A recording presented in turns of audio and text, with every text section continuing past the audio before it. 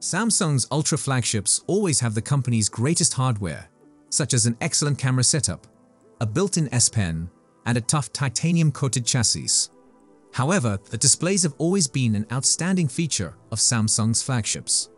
The Samsung M13 OLED screen utilized on the Galaxy S24 Ultra outperforms all of its competitors in terms of color accuracy, real-life brightness, and power economy.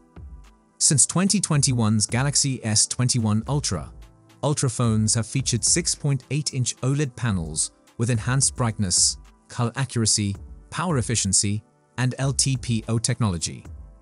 According to an internet source, the S25 Ultra's display size could eventually be increased to 6.9 inches. According to a translated screenshot, Ice Universe announced the development in a purported post on the Chinese microblogging site Weibo. If correct, the S25 Ultra will be the first Samsung flagship to feature a 6.9-inch display since the Galaxy Note 20 Ultra in August 2020, which marked the conclusion of the Note series. Even the S20 Ultra from early 2020 had a 6.9-inch display, so Samsung is effectively bringing that display size back next year, although with a flat screen rather than the curved displays of the past. The S25 Ultra is expected to be the most radical change to Samsung's flagships in a long time, with rumors already hinting at an entirely new design, a new custom Exynos Dream chip expected to be fabricated on Samsung Foundry's second generation 3 nanometer process, and upgraded cameras. The S24 Ultra is the company's flagship for 2024, and Samsung's Ultra series consistently ranks among the best smartphones each year. The S24 Ultra retains all of the best features of Samsung's top-tier flagships, such as the stunning display and built-in S Pen, while also introducing additional upgrades from the S23 Ultra, such as a flat display, a titanium-coated frame, and a 5x telephoto camera. The other three rear cameras are just as impressive.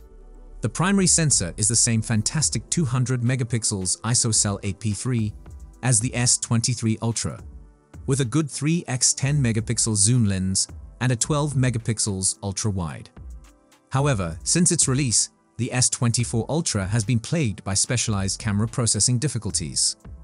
In terms of image quality, the new 5x telephoto zoom lens fell short of the older 10x lens for long-range zooming. The camera's white balance adjustment was erratic, occasionally producing cooler outputs than the scene suggested. Many customers also observed an unnatural red tint in low-light photos taken with the phone, resulting in average camera performance for an Ultra phone. Fortunately, Samsung has listened to all user comments and is working to improve camera performance through updates.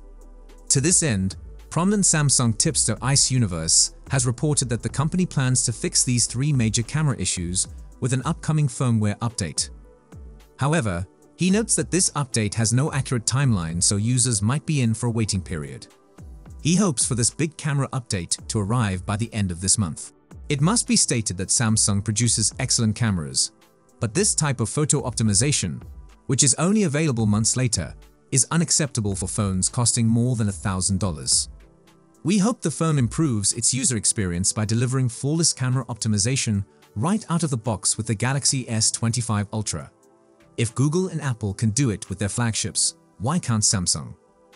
Over the last few years, Samsung image sensor has seen exponential growth.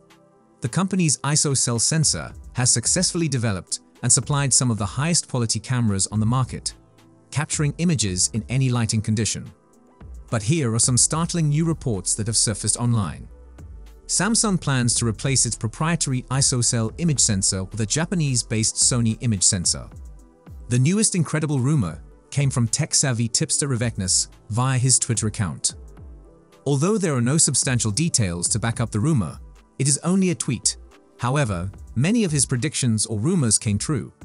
In his amusing tweet, he mentioned that Samsung's next Galaxy S25 and S25 Plus devices will use Sony's image sensor rather than the ISOCELL GN3 sensor. Notably, the tipster skips the S25 Ultra variant. However, rumors regarding the Ultra variant also surfaced on various platforms. Some of those rumors speculated Samsung might use a crazy 200 megapixels ISOCELL sensor of size 1 for the S25 Ultra variant. That is assumed to have a pixel size of 0.8 micrometer with a dual pixel autofocus pixels technology. The regular Galaxy S23 and S23 Plus uses an ISOCELL GN350 megapixels image sensor.